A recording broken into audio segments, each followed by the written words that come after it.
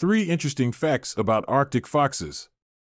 1. The Arctic fox has the warmest pelt of any animal found in the Arctic, enabling it to endure temperatures as low as minus 70 degrees Celsius. 2. Arctic foxes are capable of gaining up to 50% of their weight in extra fat during the summer, which helps them survive the harsh winter. 3. They have an astounding sense of smell, which helps them locate prey and navigate their environment.